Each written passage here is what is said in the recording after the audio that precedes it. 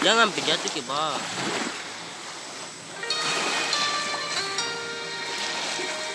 Sudah lanjutkan di situ. Ya kan